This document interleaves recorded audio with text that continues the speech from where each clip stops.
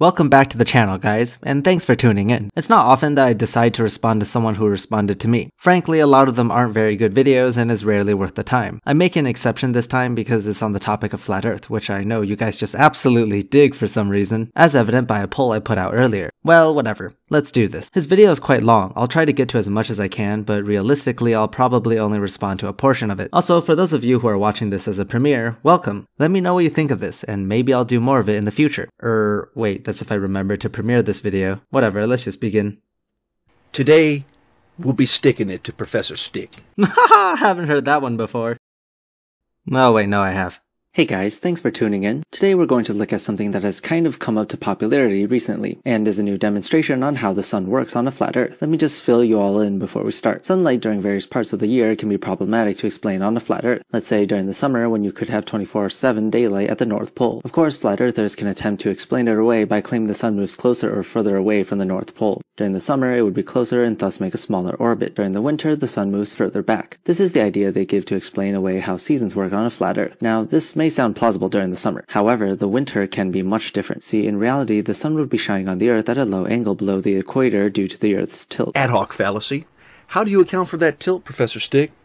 Where is the evidence that the Earth was struck by another planet, and how do you account for the fact that the Earth somehow stopped?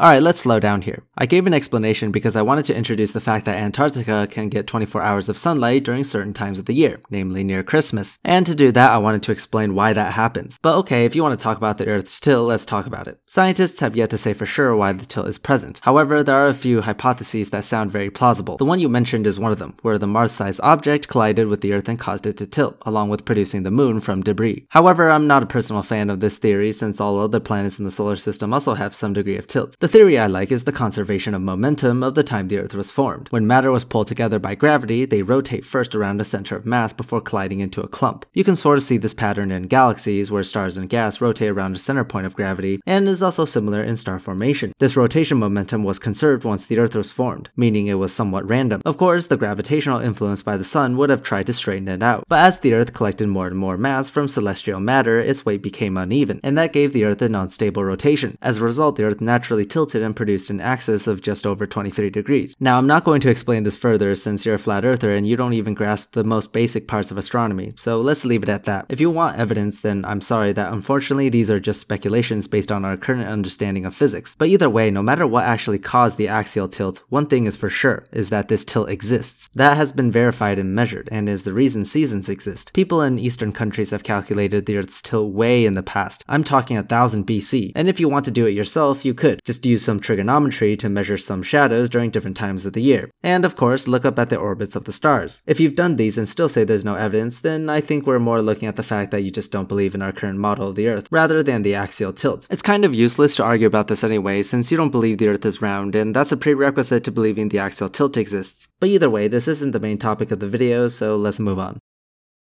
I thought, like Newton, you believe that objects in motion stay in motion.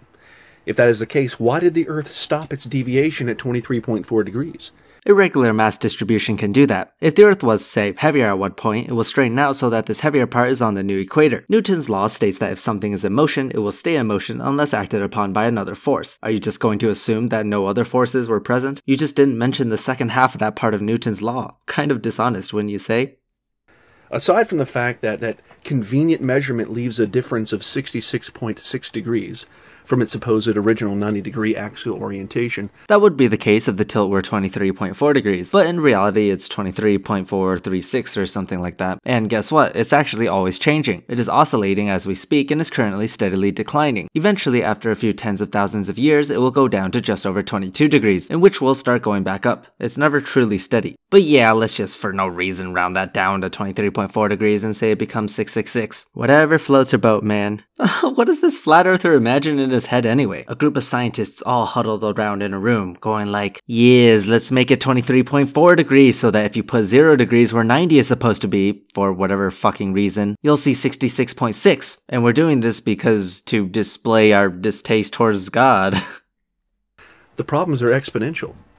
You have to believe the Big Bang in order to believe the Earth is a globe. And as I've shown, modern physics contradicts the idea of a primeval atom due to its dependence on dialectical reasoning. Oh, look at you, trying to use physics to debunk physics. Let me just set some definitions straight so you don't butcher them to death and strawman actual scientific claims. The Big Bang is simply the expansion of space, which means since space is expanding now, the Big Bang is still happening as we speak. It also describes the expansion of space from a supposed singularity 13.8 billion years ago. However, it doesn't say anything about how this singularity came to be, how the first atom came into existence, or how the universe popped into reality. That's just extra content you creationists are trying to loop in with the Big Big Bang in an attempt to discredit it. Awfully reminds me of evolution and abiogenesis. If you want to talk about the origin of the universe, fine, we can talk about it. You said you've talked about this already in another video of yours, but I'm not about to dig it up right now, so if you want to have this discussion, you'll have to link it to me or something. Number two, the Big Bang contradicts the heliocentric conception of the Sun. Thermal expansion produces an eccentric force, not an attractive force. Ah, there is thermal expansion, but it was mostly an expansion of space, which I realize a lot of you guys who deny science can't seem to grasp. But let's go with that. Okay, sure, some eccentric forces will be in play which produces torque causing certain objects to rotate along an axis, but how in the world could you jump from that to the sun can't be an attractive body? There's absolutely no relation here between the premise and the conclusion. Just because one force exists doesn't mean another can't, and gravity is one of those forces that exists especially for large masses no matter what other forces are in play. And yes, that means even eccentric forces. And at this point, I wouldn't be surprised if you just arbitrarily picked up difficult sounding words in an attempt to confuse the audience. Number three, it also denotes the sun emitting multiple forces of gravity one to attract bodies, hurling away from it, another to push bodies away, hurling towards it, and then another to stabilize everything after all the forces have been applied. No, gravity always behaves the same, and there aren't variations of gravity. However, gravity isn't always the only force in play. If an object is affected by the sun's gravity and no other forces are present, then the object will simply be pulled towards the sun. If, however, an object has a tangent velocity, then that along with gravity combined together will give an orbit around the sun. As for pushing bodies away from the sun, gravity doesn't do that, but rather what you're probably referring to are objects that are moving away from the sun fast enough to escape its gravitational pull. See, this is why we don't have people like you, who don't even have the most basic understanding understanding of physics work at NASA. God damn. Number four, Venus is spinning the wrong way. Yeah, let's just throw that out there without mentioning any of the proposed hypotheses on why that may be the case. Here's my favorite one, and I think it's quite relevant to what we're talking about. It's not that Venus is spinning in the wrong way, but rather it used to spin correctly but had its axis tilted 180 degrees. This was due to the sun's gravitational pull on its dense atmosphere. And like I mentioned earlier, any massive substance that isn't equally distributed can cause the planet to tilt. And this is basic physics. With such a dense atmosphere, Venus can very easily be flipped to wild angles, and that's what likely happened. That and perhaps a combination of factors that exists on Venus's surface. Oh, and by the way, if you wanted to bring up the abnormality of Venus's spin direction, don't say that it disproves the Big Bang, because the expansion of space isn't what causes planets to spin in the same direction. That, my friend, is the conservation of momentum. So bringing up Venus's spin would only apply to that, not to the Big Bang. You can't even match the criticism right with the concepts you're trying to disprove. Number five, there's no geologic evidence that the, another planet struck the Earth. That's just a hypothesis to explain the moon. Very plausible explanation, that is. I agree there isn't conclusive proof, but no matter what, we do know that the moon exists and orbits around the Earth. Just because we don't know for 100% certainty how the moon got there doesn't mean we can't know what the moon physically is. Number six, axial tilt contradicts Newton's theory of centripetal force. Remember, the stone in Newton's sling was neither rotating nor was it tilting. Newton's sling? What in the world are you talking about? You're not talking about Newton's cradle, are you? No, I don't think anyone's that stupid to call it a sling. Welp, no idea what you're on about here, buddy. Let me just ask my live audience of this premiere if they know what it is. Hmm. Yes, yes, very interesting.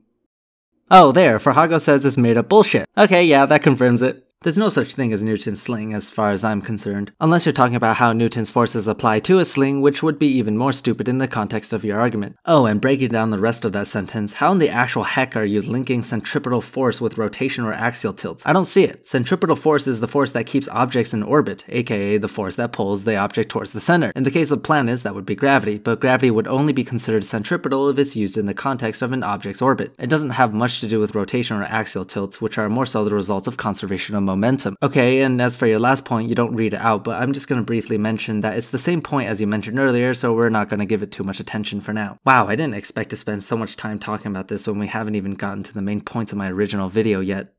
This is what makes it summer for the southern hemisphere, but winter for the north. By the way, if I say summer or winter without specifying hemisphere, I'm usually referring to the northern hemisphere. Anyway, around Christmas, Antarctica also experiences 24 hour sunlight days for a few weeks, much like how Greenland can have 24 hour sunlight during the summer. This, however, cannot be easily explained away by the flat earth model. While it's possible to draw a model that gives the North Pole 24 hours of sunlight during the summer, there's currently no good explanation for how Antarctica can experience the same amount of sunlight during Christmas. Until now, that is. This video is going to be focused on that. Let's take a look.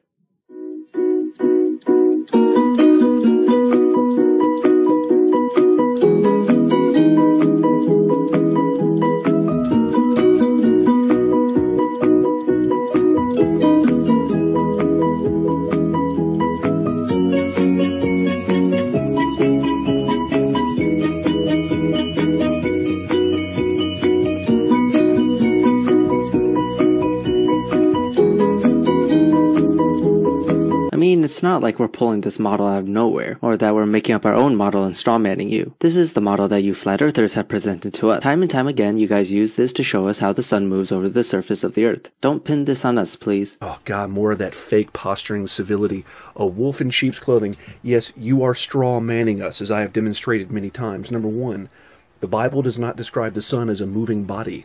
It is an instrumental converter of the original primordial light of Genesis 1. really? I can say for certain that that's just your own interpretation. I made this video in response to the flat earther that made that Gleason glass dome model video, not to you. And I'm pretty sure that most flat earthers don't interpret the sun that way. Their model involves the sun moving in a circle pattern in the sky, lighting up a local area. Plus, a lot of flat earthers are atheists as well, so they don't even take the Bible as truth. I don't know what model of the earth you subscribe to, but I'm just going to skip over your own subjective interpretation on what the sun and stars are. Don't accuse me of strawmanning just because it's different than what you argue for, because that video was never made for you.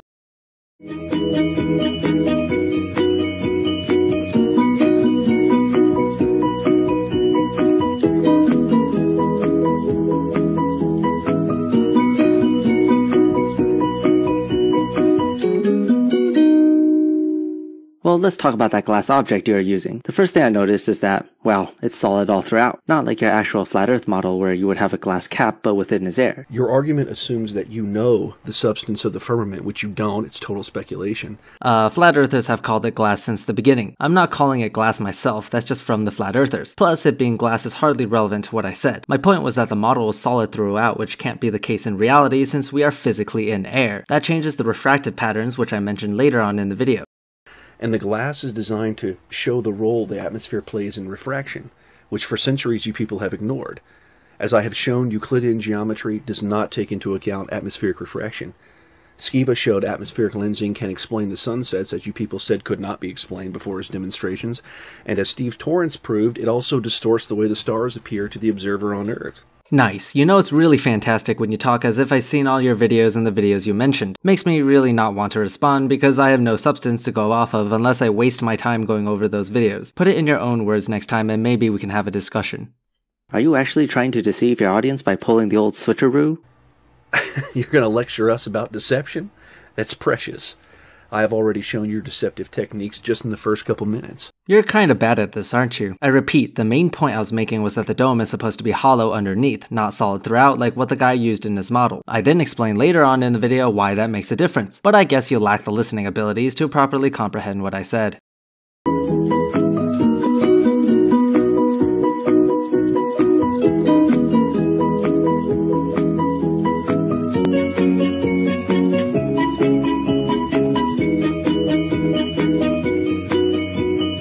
Now, for the rest of this video, he just keeps spinning his little flashlight around this Earth model. His little flashlight? All you did was show a cartoon of the tilting Earth. You didn't even give an inkling of evidence for it, so you can take your fake doughboy civility and shove it. Ooh, I'm sensing a little salt in your voice. Salty, salty, salty. All these flavors, and you choose to be salty. I called it a little flashlight because guess what? It's literally a small flashlight. How does how does anyone get so triggered over that? One issue here is how your model isn't consistent with any other models you have presented. Why is the sun here outside the glass dome? Read a basic Hebrew commentary on Genesis 1. The sun, moon, and stars are not bodies. They convert the primordial light on the other side of the firmament as has already been demonstrated. Yeah, you know, I don't really care about your own interpretations using the Bible, because guess what? The Bible is fallacious and just flat out wrong on so many levels. I'm just gonna go off the common model that has been presented to me by the Flat Earth community. We could always have another separate discussion on your own personal beliefs, but that's not what this video is about, so I'm gonna skip all that nonsense. I'm pretty sure you guys have already presented to us a model in which the sun would reside inside of the dome. This causes many problems. See, in the model in which the sun would be within the glass, the light distribution would be much different than in your presentation. We would again have the regular local spotlight sun that would illuminate only a circle around itself and not half of the earth. Just because we depict it inside the dome does not mean we believe it is the light emitting body. It is simply a converter. we know this from the fact that the sun has black spots on it. That is impossible given your theory that it is a fusion bomb. For someone who presses a lot about showing evidence, you sure have none yourself. You jump from the sun having sunspots to, oh, therefore it's a converter of the light in Genesis. Ridiculous. Sunspots occur due to reduced temperatures resulting from alterations in the magnetic field. How exactly would that be impossible if the sun underwent fusion? Your jump in logic involves zero understanding of physics. I recommend picking up a textbook instead of burying your head in an ancient book written by people with no knowledge of science whatsoever. Every lunar eclipse we can see the moon giving off its own light. If the fact that the moon derives its light from the sun, then a lunar eclipse, ipso facto and eo ipso, should show the moon completely dark. But that's not what we see. Oh yay, another claim made due to ignorance of physics. You could have just googled this and gotten an answer within 5 seconds. The moon is red during a lunar eclipse because it no longer derives light directly from the sun, but rather it receives refracted sunlight from the earth. This bends the light around the earth and hits the moon. It appears red because blue light is scattered more heavily than red light due to Rayleigh scattering upon the light hitting the molecules within the atmosphere. There are even equations and laws out there that can help you calculate exact values if you wanted to. Please, at least Google this information before you make silly claims about them.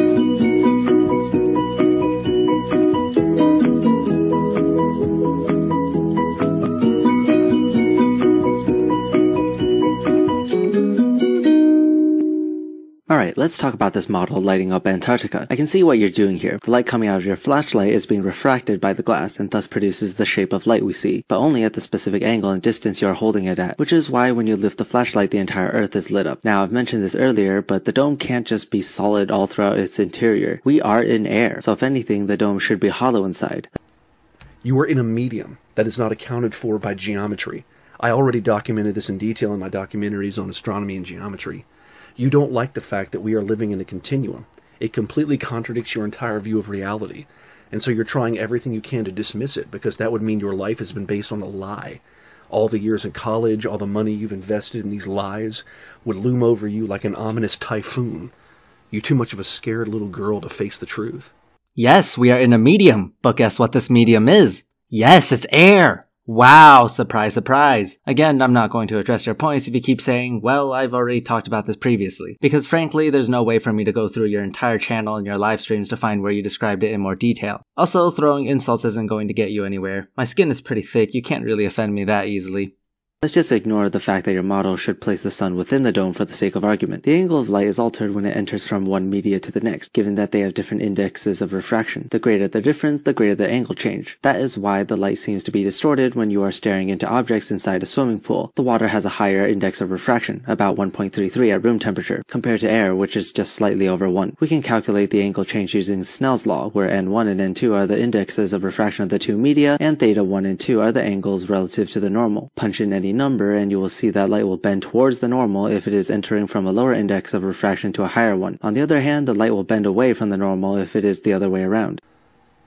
Again, you run from experimental facts to your cartoons and your baseless theories. Yep, classic. You clearly just didn't understand what I said about Snell's law, so you just dismissed it calling it a silly cartoon. Newsflash, Snell's law is very well demonstrated, and you can even calculate it yourself. Just fill up a glass bowl with water and shine a laser into it, then measure the angles and crunch it into Snell's law. You can do the same with glass or anything else as long as it has a different index of refraction. But I'm not going to ask you to actually do it, since apparently your grasp of science is so pitiful you probably wouldn't even be able to hold a protractor. Ooh, how's that for an insult? 1. You have no theory of light. The corpuscular theory was refuted by Leon Foucault, and the wave theory was refuted by Philip Lenard. Okay, aside from the lack of validity of the bullshit claims you just made, what does that have to do with refraction in Snell's law? 2. There are no units in geometry to account for the medium of the atmosphere or for the lines to represent rays of light. Uh, do you know what units are? It's a standard used to measure quantity of a certain phenomenon. In the case of Snell's law, the mediums have a property which I mentioned called index of refraction. Light has multiple units depending on what aspect you are looking at. Like speed would be measured in meters per second, or its luminous intensity is measured in lux. The lines itself is simply a display of direction, which doesn't exactly have a unit, but the angles of entry or exit of medium are in radians or degrees. I don't know what kind of unit you're expecting, but at this point you're just spouting random nonsense. You cannot use those lines to represent rays of light. A. You are assuming light rays move in straight lines. okay. Light is straight unless something causes it not to be, such as the influence of gravity or refraction, which could bend it. I think for the sake of my sanity, the response is going to end here. There's no way I'm going to argue more against someone who can't even meet the basic fact that light travels in straight lines. I didn't get through too much of his video, but if you guys want to check out the rest of it, there will be a link in the description. He does go on more to explain his light not traveling in straight lines idea, but I don't think it's really worth watching. I kind of came into this expecting him to provide better arguments that directly pertained to the points I made in my original video, but I guess you can't expect too much from flat earthers. Anyway, thanks for watching. If you were here for the premiere, I hope you enjoyed watching it live with me. And thank you to Fireshard and Daniel Seibel for being the top tier patrons this month. I'll see you guys next week.